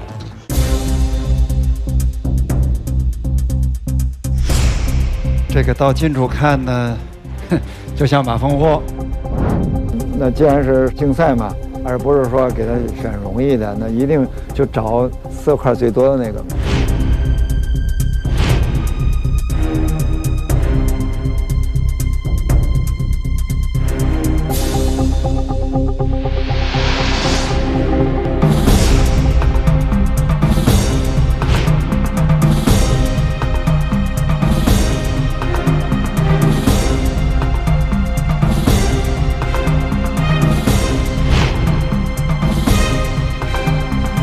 选手，我们评审已经出题完毕，请两位选手进入挑战区。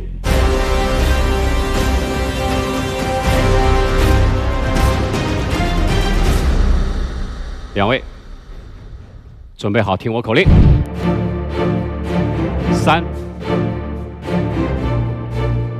二，用脑时刻，多喝六个核桃。挑战开始。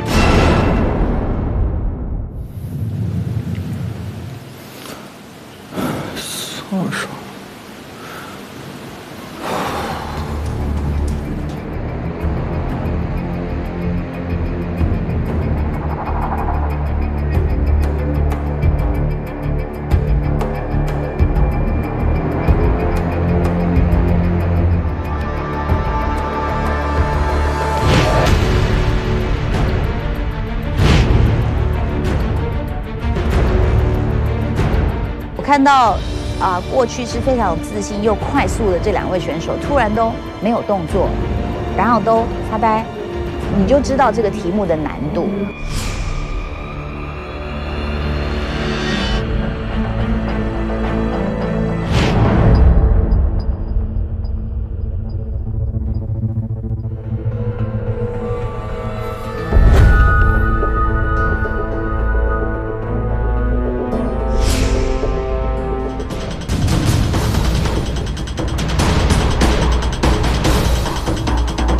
好意思，我这魔方出现问题，出现故障，卡住了，不好意思。魔方卡住了，好，我们给你换一个新的魔方。我当时正在做我的第一个魔方，听到孙慧燕魔方坏掉了，做到那一半儿，我中间有一个块儿，我想不起来在哪儿了。不不好意思，再给我一个魔方，不好意思。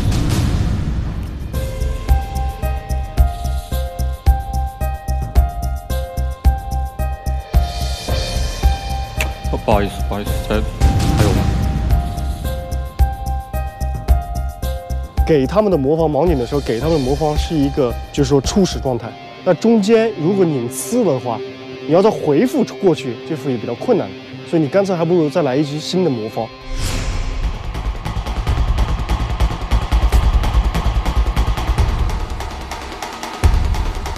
能不能先把第二个魔方给我？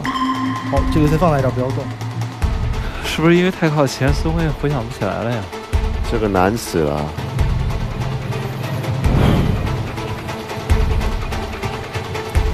好了。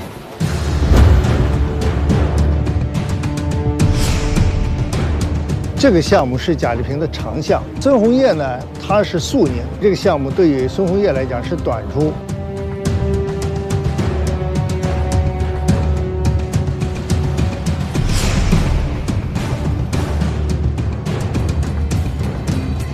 你看那手都在抖。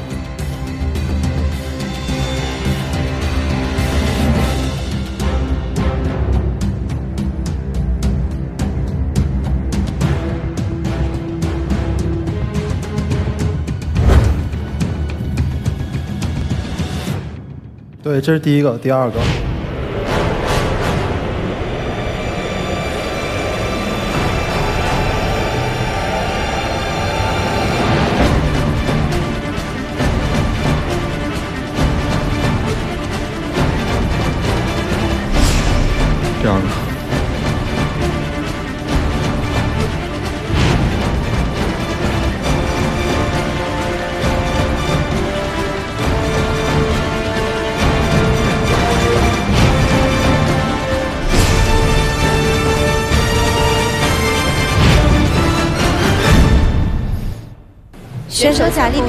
作答完毕，用时七分四十九秒九零。现在我们请科学助理将两位挑战者的答案推到舞台中央。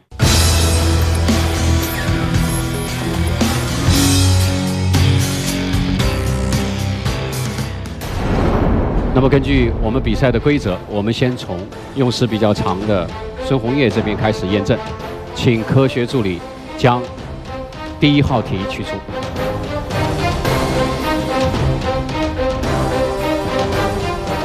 好，首先我们揭晓一下正确的答案。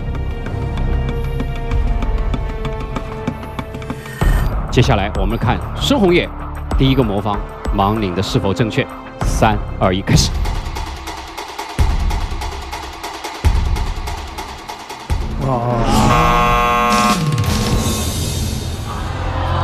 不正确。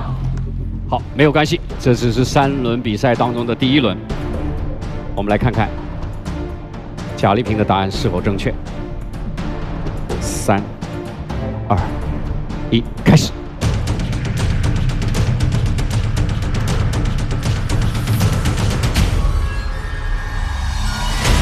正确。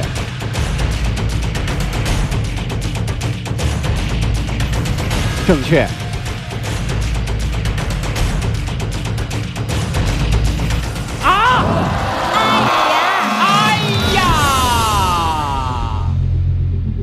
第一轮双方零比零战平。好，我们进入第二轮，我们也从耗时比较长的孙红叶这边开始验证。首先，我们来看一下正确答案。好，这是正确答案。来看看孙红叶的答案是否正确呢？三、二、一，正确。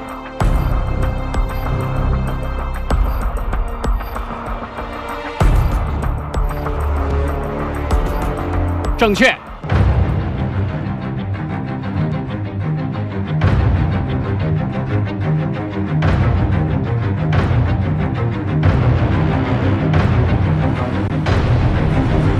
正确。好，我们再来看看贾丽萍的答案是否也同样正确呢？三、二、一，开始。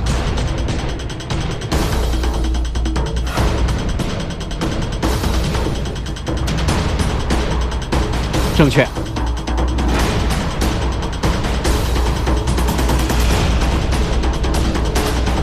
正确。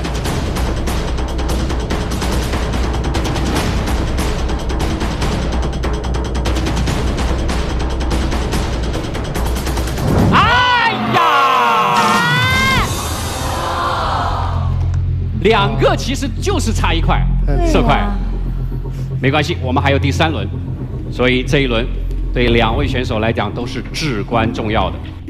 我们先从暂时失利的贾丽萍这边开始验证。首先，看三号题的正确答案。好，这就是三号题的正确答案。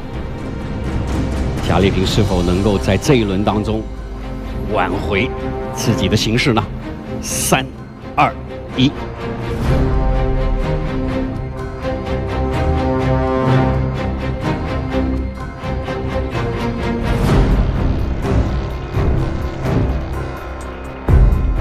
正确。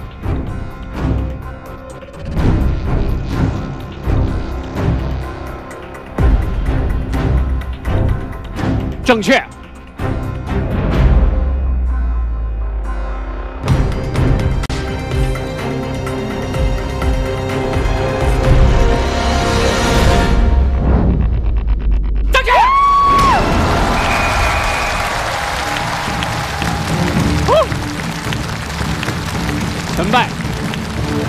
在孙红叶的最后一局，到底孙红叶是否正确呢？结果是三、二、一。比赛进行到此时，孙红叶和贾丽萍以一比一打成平手。在最为关键的第三轮中，只要孙红叶的答案正确，那么他就可以赢得比赛。但如果他出现了失误，那么在相同的比分下，贾丽萍将凭借其挑战总时间最少而获胜。两人的命运都拴在这最后一个魔方之上。要旅游找途牛，牛人专线品质游。广告期间别走开，打开微信摇一摇，途牛现金红包领不停。看最强大脑，选牛人专线。六个核桃最强大脑，精彩稍后继续。六个核桃最强大脑，最强大脑由核桃乳领导品牌，六个核桃独家冠名播出。经常用脑，多喝六个核桃。最强大脑荣耀杰作，东欧标致五零八，品质尽享，荣耀而至。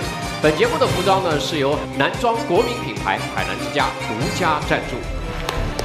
成败就在申红叶的最后一局，到底申红叶是否正确呢？结果是三、二、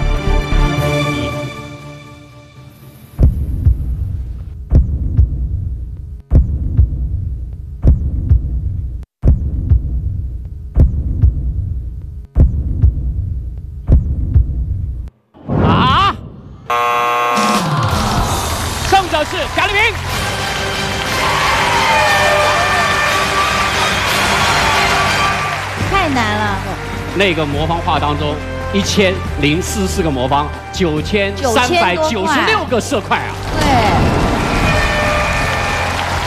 这个魔方的项目是三季以来我们科学家团队认为最难的一个魔方的项目。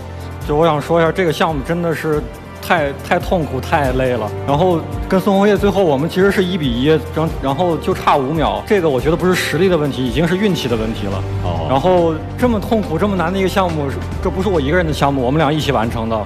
我觉得今天没有谁是失败的。哦。好，好谢谢红叶。谢谢蒋老师。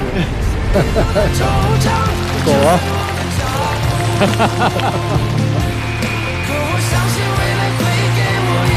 虽然这次比赛失利了，但是我觉得我还年轻，对于我来说，成长可能比成功更重要。接下来，我们请王石先生给他赠送荣誉勋章。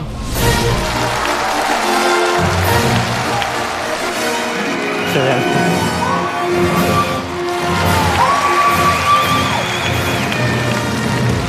好，也请我们最后产生的中国战队的第四位队长贾立平先生登上中国战队荣誉盛典。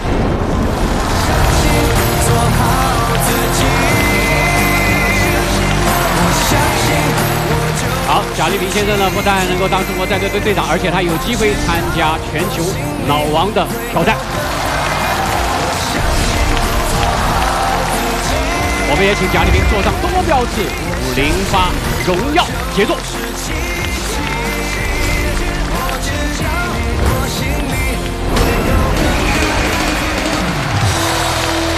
好，到目前为止，中国战队的四位队长已经全部产生了，他们分别是林建东先生、李维先生、王玉恒先生、贾立平先生。我们四位队长已经脱颖而出了，接下来我们中国战队的候选人将争夺十二位席位，最后分成四个组与国际战队进行挑战，让我们一起拭目以待。感谢六个核桃、东风标致五零八、海澜之家和途牛旅游对本节目的大力支持。感谢北京大学心理学系、北京师范大学心理学院为本节目提供全程的科学顾问。感谢视频合作网站，登录优酷土豆、爱奇艺、乐视网、腾讯视频，可以观看本节目的精彩内容。你可以关注最强大脑官方微博进行话题互动，打开新浪娱乐、腾讯视频、腾讯娱乐、搜狐娱乐、网易娱乐、凤凰娱乐，了解节目信息。手机用户呢，可以下载有态度的网易新闻客户端，获取更多的选手背后的故事。还可以下载搜狐新闻客户端、新浪新闻客户端、腾讯视频客户端、腾讯新闻客户端、凤凰新闻客户端、今日头条一点资讯、扎克新闻资讯客户端，了解更多的节目资讯。感谢百度贴吧、百度百科、大麦网、航班管家、高铁管家对本节目的大力支持。